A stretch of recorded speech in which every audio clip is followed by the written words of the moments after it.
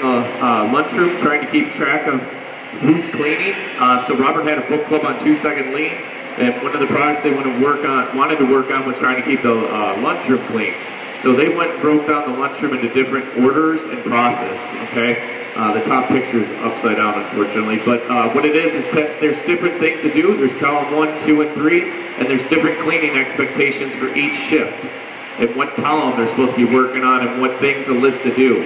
So in the value streams, there will be a person designated for each week for first, second, and third shift. So they will have a section of the lunchroom that they will take care of each one of those days, okay? So make sure you're checking the value stream. The value stream leaders have to get the list out so they know what they need to take care of, and all that needs to be checked. So part of the audit, we're going to start going around once this gets taken, grabs hold for a couple weeks, and we'll audit to check on different shifts. Who's cleaning it? Is it staying clean? Is it being worked on? We don't want this.